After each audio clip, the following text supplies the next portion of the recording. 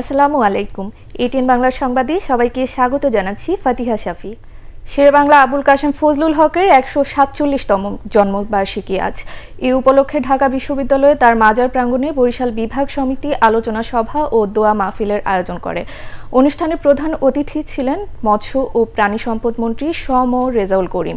অনুষ্ঠানে শেরেবাংলা ফজলুল হকের দৌহিত্র, এ কে ফাইজুল হক উপস্থিত ছিলেন। সকালে দিনব্যাপী কর্মসূচি শুরু হয় এ কে ফজলুল হকের সমাধিতে পুষ্পস্তবক অর্পণ ও দোয়ার মাধ্যমে।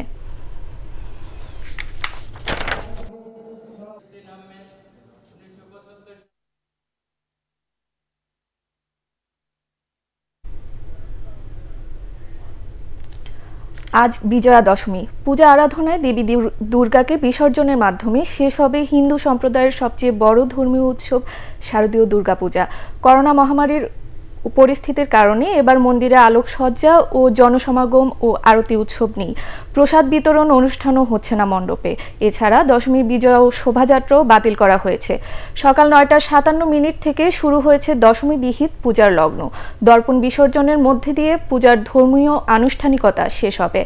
বাইশে অক্টোবর ষষ্ঠী বিহিত। পূজার মধ্যে দিয়ে শুরু হয় পাঁচ দিনের শারদীয় দুর্গাপূজা। এবার দেবীর আগমন ঘটেছিল দোলায়। ভক্তদের অঞ্জলি আরতি গ্রহণ করে আজ গজে বিদায় নিচ্ছেন দেবী দুর্গা।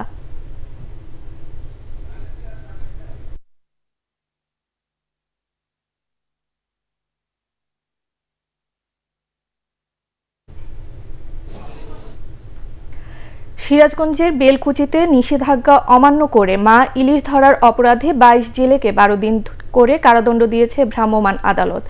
এছাড়াও পুড়িয়ে ফেলা হয়েছে পঞ্চাশ হাজার মিটার কারেন্ট জাল। রোববার গভীর রাত পর্যন্ত বেলকুচি উপজেলা নির্বাহী অফিসার এবং নির্বাহী ম্যাজিস্ট্রেট মোহাম্মদ আনিসুর রহমানের নেতৃত্বে যমুনা নদীর বিভিন্ন পয়েন্টে এ মোবাইল কোর্ট পরিচালনা করা হয়।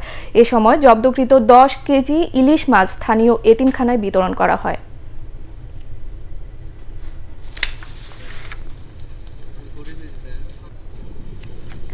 আন্তর্জাতিক।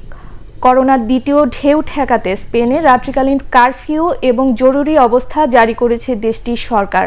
প্রধানমন্ত্রী পেড্রো সানচেজ বলেছেন, রাত্রিকালীন কারফিউ দেশটির নাগরিকদের কড়াকড়িভাবে অনুসরণ করতে হবে।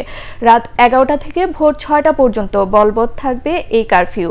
এ সময় জনসাধারণের চলাচলের উপর নিষেধাজ্ঞা থাকবে। জরুরি অবস্থায় আওতায় এ দেশের এক রাজ্য থেকে অন্য রাজ্যে চলাচলের উপরও বিধিনিষেধ দেওয়া হয়েছে। প্রাথমিকভাবে পনেরো দিনের জন্য এই কারফিউ দেওয়া হলেও পরবর্তীতে সংসদে অনুমোদনের মাধ্যমে তা ছয় মাস পর্যন্ত বাড়ানো হতে পারে বলেও গণমাধ্যমকে জানিয়েছেন স্পেনের প্রধানমন্ত্রী। করোনা সংক্রমণ মারাত্মক বেড়ে যাওয়ার দুই সপ্তাহ আগে এমন কারফিউ দেয় ফ্রান্স। এবারে খেলার খবর। ইংলিশ প্রিমিয়ার লিগে আর্সেনালকে এক শূন্য গোলে হারিয়ে পয়েন্ট টেবিলের চারে উঠেছে লেস্টার সিটি। এমিরেটস স্টেডিয়ামে বল দখলে শুরুর থেকেই এগিয়েছিল গানাররা, তবে প্রতিপক্ষ গোলরক্ষকে বড় কোনো পরীক্ষায় ফেলতে পারেননি আর্সেনাল স্ট্রাইকাররা। গোলপোস্ট লক্ষ্য করে তাদের বারো শটই বিফলে যায়। যদিও প্রথমার্ধে আলেকজান্ডার লাকাজেতের গোল বাতিল হয় অফসাইডে। অপরদিকে চুয়াল্লিশ ভাগ বল দখলে থাকায় লেস্টার সিটি জয় পায় জেমি ভার্দির গোলে। এতে করে উনিশশো তিয়াত্তর সালের পর প্রথমবারের মতো আর্সেনালের মাঠ থেকে জয় নিয়ে মাঠ ছাড়ে লেস্টার সিটি।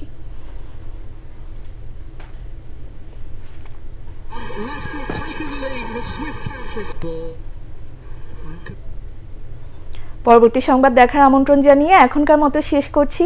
করোনা ভাইরাস থেকে নিজেকে সুরক্ষিত রাখতে মাস্ক পরুন, বারবার হাত পরিষ্কার করুন। এটিএন বাংলা সংবাদ, ইউটিউবে দেখতে ব্রাউজ করুন, YouTube slash ATN Bangla news